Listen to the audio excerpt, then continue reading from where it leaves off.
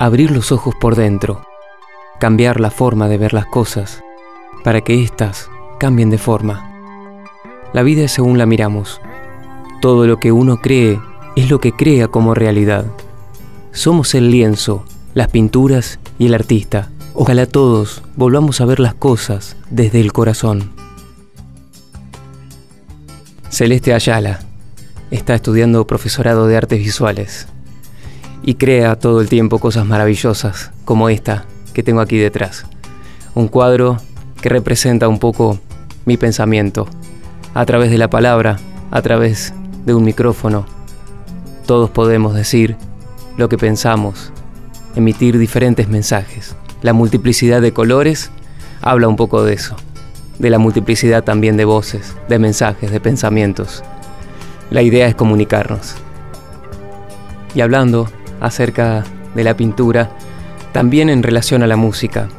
En el año 1982, el compositor y guitarrista Toquiño compuso su canción Acuarela, canción que lo llevaría a ser ganadora del disco de oro en Italia, en el Festival de San Remo, siendo el primer artista brasileño que logra esta distinción en ese país, una de sus canciones más emotivas.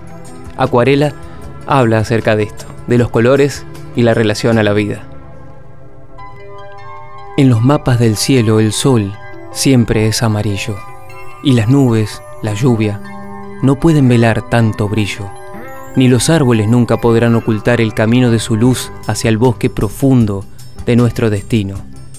Esa hierba tan verde se ve como un manto lejano que no puede escapar, que se puede alcanzar solo con volar. Siete mares he surcado, siete mares color azul. Yo soy nave voy navegando y mi vela eres tú.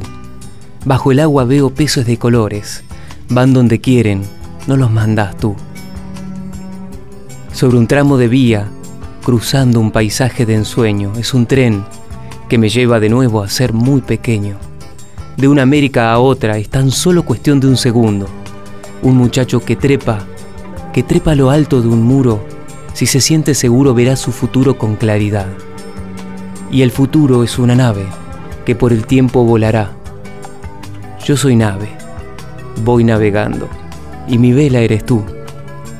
Piensa que el futuro es una acuarela y tu vida un lienzo que colorear.